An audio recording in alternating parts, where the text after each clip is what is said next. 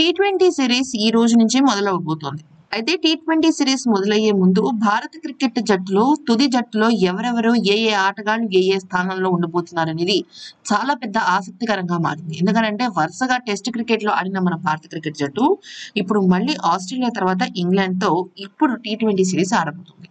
దీనికి సంబంధించి ఓపెనర్లు రోహిత్ శర్మ కేఎల్ రాహుల్ అంటూ ఒక విషయాన్ని తేల్చేశాడు. ఇక ఆ తర్వాత అతి పెద్ద ఆసక్తికరమైన విషయం ఏమైనా ఉంది అంటే క్రికెట్ జట్టుకు సంబంధించి తుది జట్టుకు సంబంధించి నాలుగో స్థానం. నాలుగో స్థానంలో ఇప్పటికే శ్రేయస్ అయ్యర్ అని చాలా మంది అనుకుంటున్నారు. అయితే శ్రేయస్ అయ్యర్ బదులు రిషబ్ పంత్ పెట్టాలని కొంతమంది మరి కొంతమంది సూర్యకుమార్ యాదవ్ని కానీ దించాలని మరి కొంతమంది అంటుంటే ఇక్కడ శ్రేయస్ అయ్యర్ స్థానంలో మరొక చిచ్చరిపిడికి రాబోతున్నాడన్న విషయం క్రికెట్ వర్గాల నుంచి వినిపిస్తుంది. అతను ఎవరో కాదండి. టీ ట్వంటీ మ్యాచ్ల్లో దిగ్గజ ఆటగాడైన సూర్యకుమార్ యాదవ్.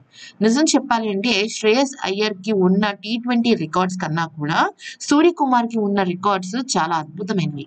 తను ఆడిన అన్ని టీ ట్వంటీ మ్యాచెస్లో కనీసం తన పరుగుల స్కోరు నాలుగు వందల యాభై తక్కువ ఏది లేదు.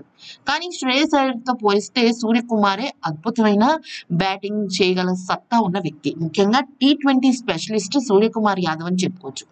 అయితే ఇప్పుడు మొదటి టెస్ట్ మ్యాచ్లో సూర్యకుమార్ యాదవ్ని పెట్టి తన ఒక తన ఒక ప్రతిభ తన ఒక నైపుణ్యం తెలిసిన తర్వాత దాన్ని బట్టి శ్రేయస్ అయ్యర్ ఒక స్థానాన్ని నిర్ణయించాలి అని విరాట్ కోహ్లీ అనుకుంటున్నాడు.